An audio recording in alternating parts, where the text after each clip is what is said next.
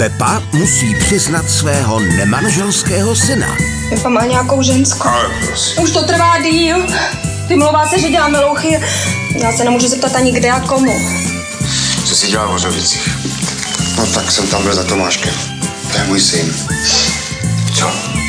Tvůj vnuk? Dynastie Nováků.